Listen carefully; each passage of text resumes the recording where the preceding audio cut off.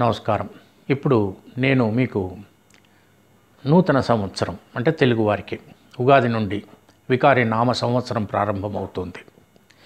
ఆరు నాలుగు రెండు వేల పంతొమ్మిది. అక్కడి నుండి ఈ ధనస్సు రాశి వారికి ఎలా ఉంటుందనంటే పంచాంగరీత్యా వీళ్ళకి ఆదాయం రెండు. వ్యయం ఎనిమిది. అంటే ఆదాయం తక్కువ ఖర్చు ఎక్కువ. ఇకపోతే రాజభూజ్యం ఆరు అవమానం ఒకటి. రాజపూజ్యం అంటే గౌరవాదులు మాత్రం ఉంటాయి కానీ అవమానం ఒకటి. తక్కువగానే అవమానం అనేటువంటిది జరుగుతుంది. ఇకపోతే మరి ధనస్సు రాశిలో కేతువు శని ఇప్పుడు కలిసి ఉన్నారు. రాహువు సప్తమంలో ఉండి చూస్తున్నాడు. అటువంటి పరిస్థితుల్లో జీవితం కొంత అవ అవకతవకగా ఉండేటువంటి అవకాశం ఉంటుంది. కొంచెం శారీరకంగా సమస్యలు ఎదురవుతాయి. మోకాళ్ళలో నొప్పులు చాలా ఎక్కువగానే వస్తుంటాయి. అశ్రద్ధ చేయకుండా ప్రతిరోజు కూడా యోగా చేయటం వ్యాయామం చేయటం సరి అయినటువంటి సమయంలో వైద్యుణ్ణి సంప్రదించటం దానికి కావలసినటువంటి చికిత్సలు చేయించుకోవటం ఇవన్నీ కూడా చాలా అవసరం. ఇకపోతే ఏదైనా పనులు కుట్టుపడుతుంటాయి.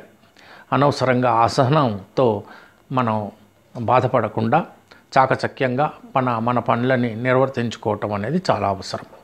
మానసికంగా కొంత ఆందోళన ఉంటుంది. రాత్రులు నిద్ర పట్టడం కూడా కొంచెం కష్టమే.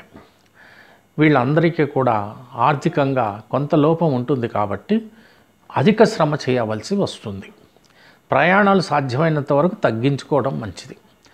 ప్రతి శనివారం కూడా తప్పకుండా శనికి తైలాభిషేకం చేసుకోవటం శనికి పూజ చేయటం ఆంజనేయ స్థుతి అంటే హనుమాన్ చాలీస చదవటం ఇవన్నీ కూడా కొంత ఈ దైవ చింతన వల్ల కొంత ఆత్మస్థైర్యం అనేటువంటిది పెరిగి ఇటువంటి సమస్యలను అన్నింటిని కూడా ఎదుర్కొనేటువంటి పరిస్థితి ఏర్పడుతుంది.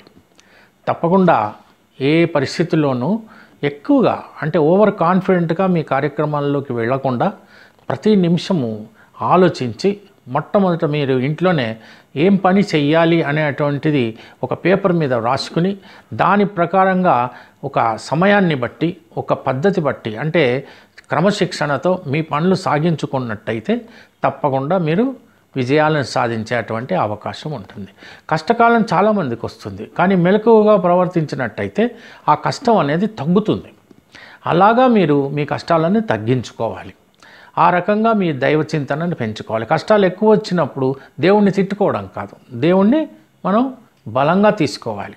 అటువంటి కార్యక్రమాన్ని మీరు చేసినట్టయితే తప్పకుండా దైవ బలంతో మీ యొక్క ప్రయత్నంతో మీరు విజయాలను సాధిస్తారు.